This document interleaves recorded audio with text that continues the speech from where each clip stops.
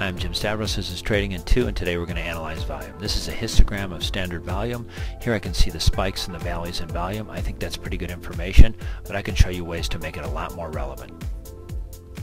Simple modification of our standard volume can split into aggressive buyers versus aggressive sellers.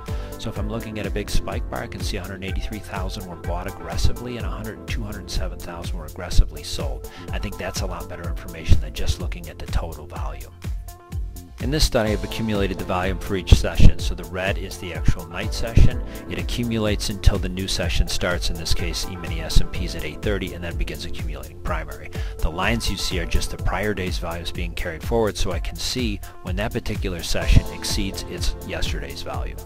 So in, here, in this case and also in this case during the day session 1245. As we can see today while it's building, it's currently 1245. It actually exceeded it around 1230. This study will accumulate the volume from the start of the session.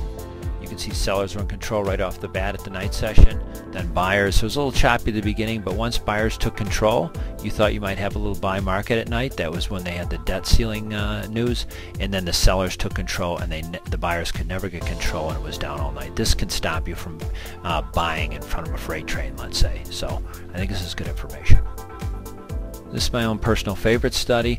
Here instead of averaging the volume, let's say for the last five bars and then comparing it to current volume, I take the, the average of the last five days at that particular time and price for that bar.